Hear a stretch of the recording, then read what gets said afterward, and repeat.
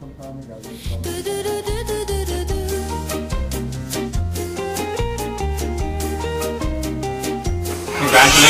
it's a girl.